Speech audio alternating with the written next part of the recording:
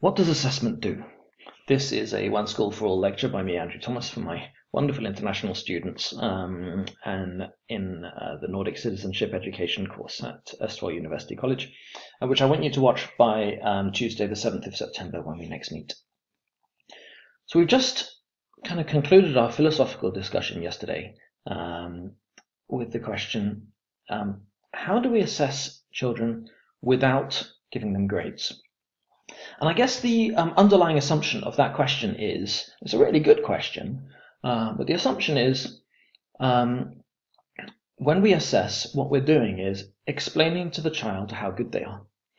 Now, the assessment for learning um, revolution that I'm going to try to explain to you um, are a couple motivations for that in this um, in this lecture is a different assumption.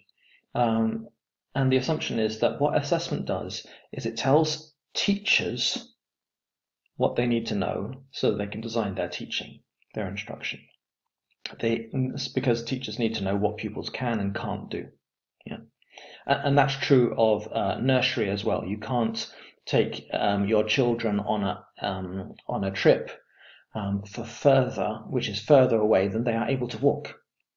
Um, and you can only take them on a cycling trip once they're all able to cycle. So, so um, that form of assessment will tell the t- uh, teachers what they need to know, but also um, it tells pupils not how good they are, but what aspects of their work is good and what is bad, um, so that they don't think that the good stuff is actually bad, and so throw away. And so when if they get a bad mark, for example, they throw away the stuff in there um, in, in their work, which was actually good, the only redeeming feature of that work. So explains to the children not how good they are, but which bits were good.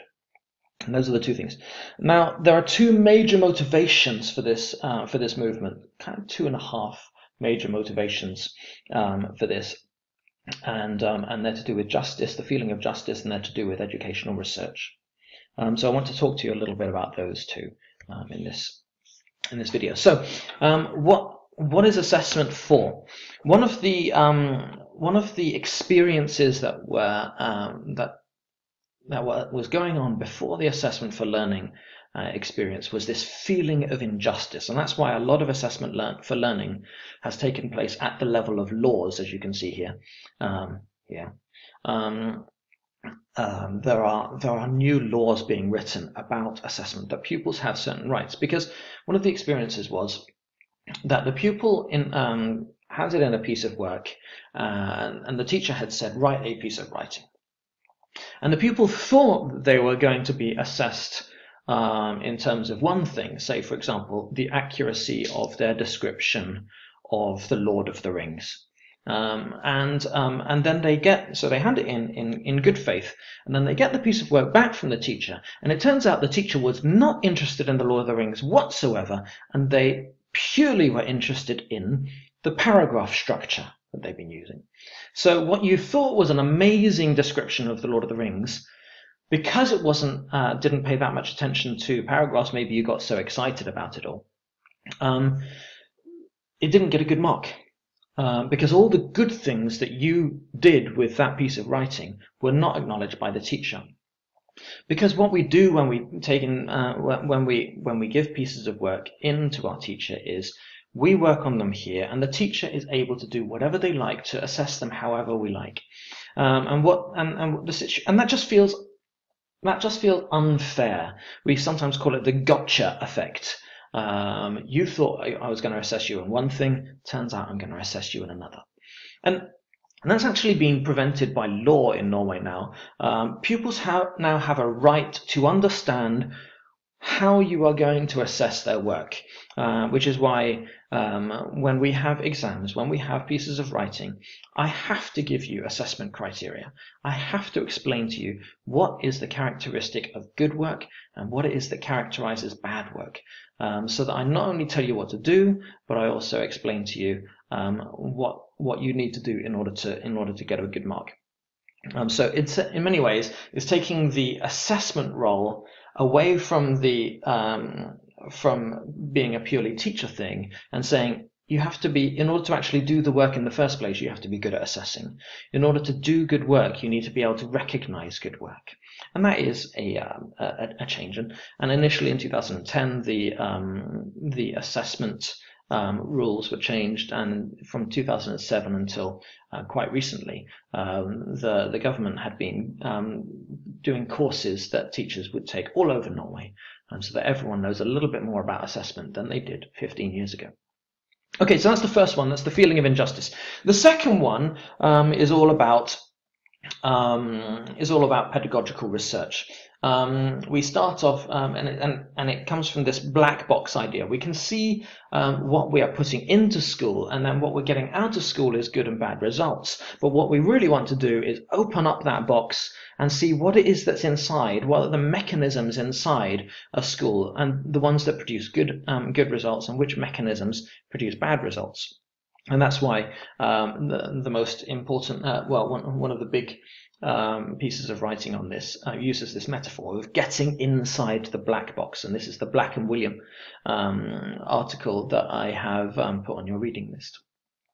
So there was both Black and Wiliam um, who said we're going to get inside the black box and find out what it is that makes for good results, but also the work of John Hattie, who you may have heard of from New Zealand, um, who analyzed um, 800 different meta-analyses, and each meta-analysis was based on lots of different individual um, research projects. And both of them found, and there's been increasing number of uh, research that finds that what is most effective for teaching, what allows pupils to learn most, is discussing the pupils' work, um, discussing what what about their work was good when they, when they were being clever, when they were being relaxed and, and or lazy or whatever. Um, but what is it that characterizes good work? So that pupils um, can work up their own strategies so that they can recognize when they've done work themselves instead of doing a piece of work, throwing it in and saying, I have no idea what mark I'm going to get. Okay, so so the first one was a, a, feeling of injustice, and the second one was all about research in um, in um, into education and finding out what teachers can do um, to um, to improve the learning experience. And that generates then the four principles um, in uh, which have which have stood um, in Norway's assessment revolution, uh, where first pupils and apprentices must understand what they are learning, what is expected of them. So that's the gotcha effect that I talked about. Instead of um, them writing something and not knowing what is expected of them, now they must know what um, what is expected of them. And they must get feedback that tells them about the quality of their work, of their work. And that's the second thing I talked about. These conversations about quality, um, really important. No niceness, no, oh, you are really clever, or I have great thoughts about no, uh, about you. No, work-related feedback. Um, and thirdly, um, pupils and apprentices must get advice on improvement. So they must say, uh, they need to know this is how far you've got. This is the natural next step. I see you've managed good paragraphs. Perhaps you need to be adding good quotations, for example. And fourthly, they must be involved in their own learning. That's what I say about them. This this assessment role being um, taken over by by pupils by assessing their own work and, and development. So once they have, uh, once they understand what is expected of them, they should be able to assess their own work and um, try something out and then be able to say, well, I like what I did there. I like what I did there. I think I need to improve this bit and get rid of that aspect there. Okay, so those are the four principles and we can discuss them more in class. I said two and a half um, motivations. I guess um, the the third one um, is um, is something to do with this is this seems to be very typical of our culture that um, with a, a, free market um, democracy, um, people are allowed to try out what they what they want. Um, but then the, the, where the rubber hits the road, there has to be some kind of competition um, and some kind of assessment of what they've um, of what they've tried out. Um, something some feedback loops that work in our society. So we've got this research-based and legal and developmental revolution in assessment for learning in Norway. And, um, and I have no doubt you've noticed there are similarities between assessment for learning and special needs education, i.e. this analysis of what is going on in the pupil and then um, uh, some kind of development measures to improve the situation.